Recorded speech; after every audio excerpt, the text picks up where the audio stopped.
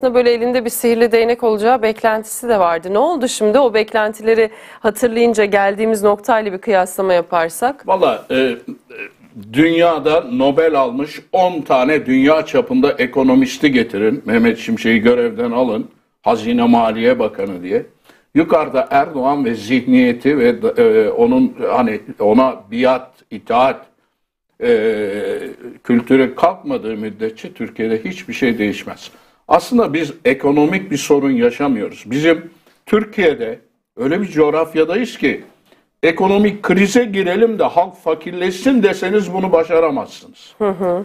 Konuşayım örnekle yani her yerde de vurgularım bunu. Bizim batımız dünyanın en zengin ekonomik birliği. Avrupa hı hı. Birliği. Doğumuz Kafkaslar, Orta Doğu, Avrasya dünyanın en zengin enerji havzaları. Biz bu o, or, ikisinin ortasında bir de köprüyüz falan derler üç kıta arasında.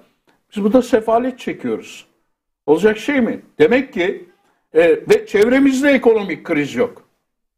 Yani e, siz biliyor musunuz Ermenistan'ın yıllık enflasyonu yüzde bir.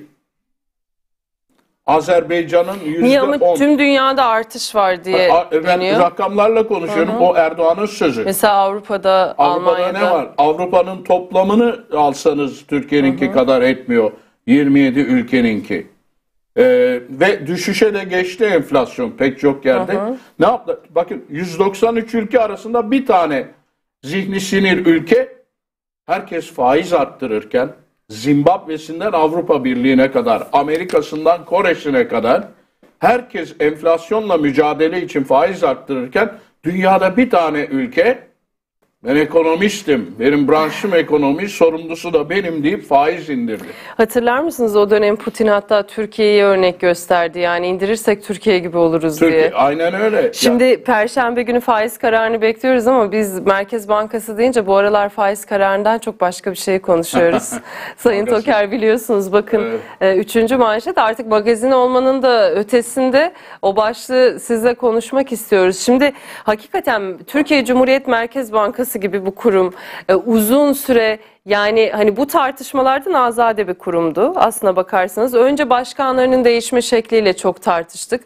Kuruma zarar verdik. Şimdi de bu tartışma. Ne diyorsunuz? Merkez Bankası e, bir demokratik rejimin en önemli kurumlarından bir tanesi. Cebimizdeki paranın değerini belirleyen ve bütün gelişmiş ekonomilerde ve demokrasilerde Merkez Bankası siyasetten arındırılır, bağımsızdır, hı hı. karışılamaz. Şimdi Erdoğan'ın yaptığını Amerika'daki arıza Trump da yaptı. Merkez Bankası Fed'in başkanına indir şu faizleri dedi. Fed başkanı da dedi ki yürü dedi sen işine bak ben işime bakayım. Senin işin ayrı benim işim ayrı. Şimdi Merkez Bankası'nı bir siyasi partinin genel başkanına direkt bağlarsanız o da seçimlere girecek. Adamın bir tane derdi var seçim kazanmak. O zaman işte Merkez Bankası böyle sorumsuzca kullanılır.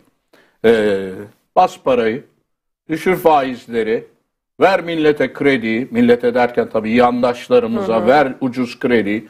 Geri dönmüş, dönmemiş sorun yok. Çünkü kamu zararı yazarız. Vergiye zam yaparız. Bankanın kasasını yine doldururuz milletin cebinde. Onun için Merkez Bankası'nın bağımsızlığından bahsedemeyiz. Ben hep şu örneği veririm hani biraz da şey olsun milletin aklında kalsın diye. Benim evin yanındaki pizzacının motokuryesi Merkez Bankası Başkanı'ndan daha az değişiyor. Bir ülkenin Merkez Bankası Başkanı 5 senede 5 kere değişir mi? Şimdi aileden de babadan bağımsız bir durumda yok ama. E, doğru. Yani bunu o, da ayrıca... o işte o bir fiyasko tabii. Ee, ama ben tahmin ediyorum e, yani bu hanımın ben bildiğim kadarıyla Amerika'da bir bankacılık kariyeri var. Evet. İsmi tanınan o çevrelerde tanınan bir isim. Her ne kadar e, yönetim kurulunda olduğu banka batmış, JP Morgan satın almış hı hı. onu falan ama herhalde Mehmet Şimşek de kendisi de böyle yurt dışında tanınan e, finans çevrelerinde tanınan isimler. Erdoğan bunlara bir iş teklif ettiği zaman ben olsam oturup pazarlık yaparım. Ben özgür müyüm? Merkez Bankası Başkanı olarak bağımsız mıyım? Kendi kararlarımı alacağım. Yoksa senin istediğin gibi söz dinleyen bir başkan mı olacağım? Bunu böyle kabul ettiyse demek ki riske attı kendini ve kariyerini.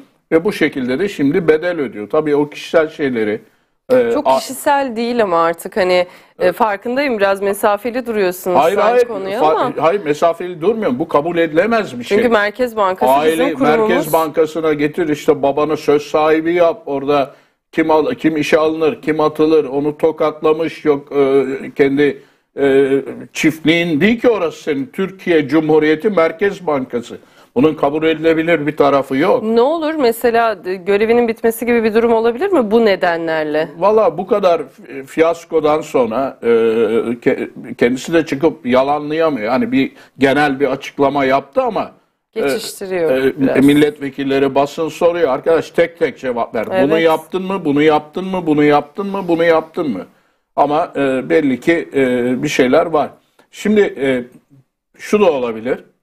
Bunlar gerçektir. Olabilir. Hani küçük çocukları var aile yanında yani bu da bir gerekçe Ama mi herkesin sizce? küçük çocuğu var. Evet. Yani bir tek küçük çocuğu olan bürokrat o mu? Bütün memurlara Ge- böyle bir kolaylık Bö- sağlanıyor Böyle mu? kolaylık sağlanıyor mu? Anası gelsin, babası gelsin, işe karışsın, yok bakıcı olsun, şu olsun.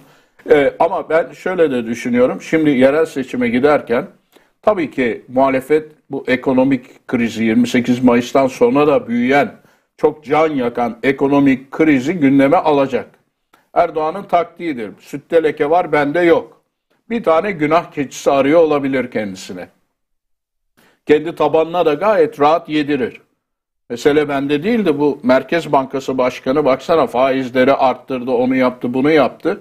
Bir o olasılık vardır.